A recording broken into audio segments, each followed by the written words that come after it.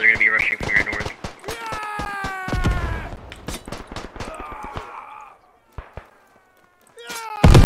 Holy shit.